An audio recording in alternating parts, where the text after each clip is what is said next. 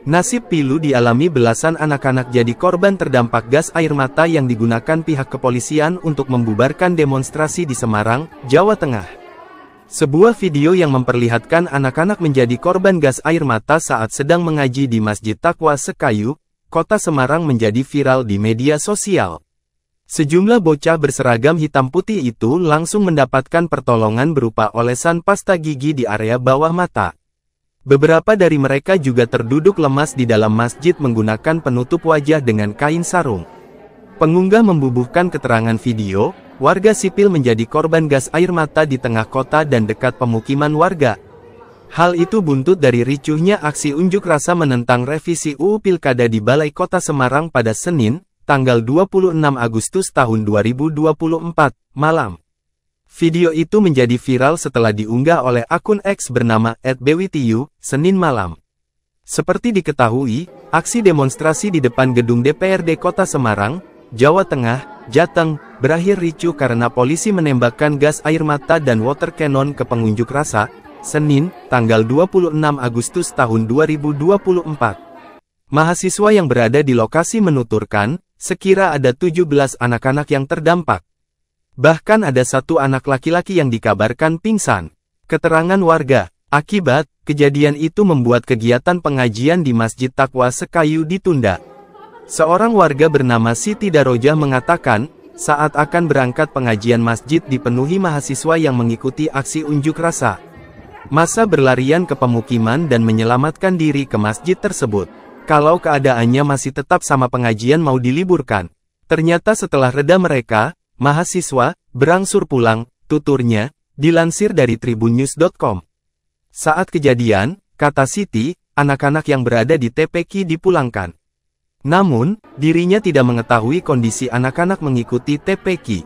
Kalau saya pengajian pukul 20, anak-anak pukul 20 sudah dipulangkan, ujarnya. Siti menuturkan merasakan dampak gas air mata sejak akan berangkat pengajian. Matanya terasa pedas dan asapnya yang terhirup sangat menyengat. Saya pun pakai kacamata dan masker baru bisa berangkat pengajian. Sampai masjid baunya sudah mulai hilang, imbuhnya.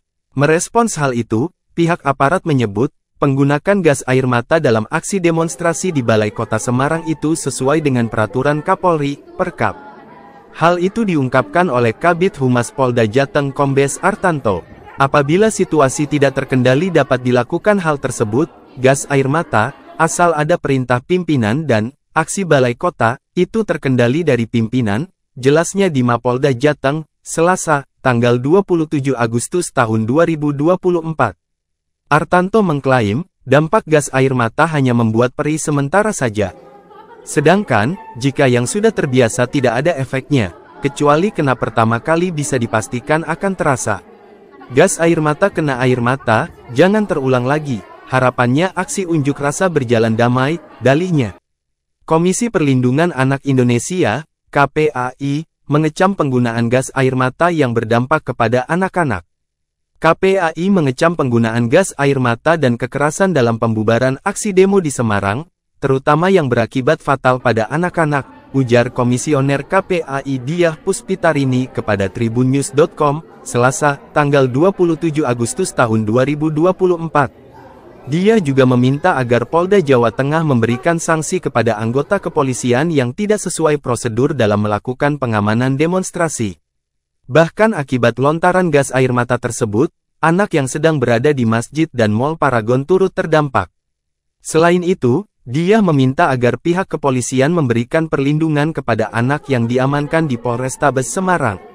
KPAI mendorong Polda Jateng menindak tegas oknum yang APH yang tidak taat prosedural dan berakibat anak-anak yang sedang TPQ di rumah ibadah dan pengunjung Paragon Mall menjadi korban begitu juga pelajar yang saat ini masih diamankan di Polrestabes Semarang, kata dia.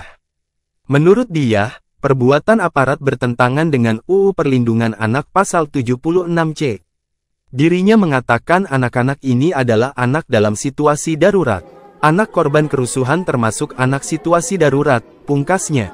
Akibatnya, sejumlah peserta aksi atau para mahasiswa, masyarakat sipil, dan pelajar banyak yang menjadi korban hingga dilarikan ke rumah sakit, RS.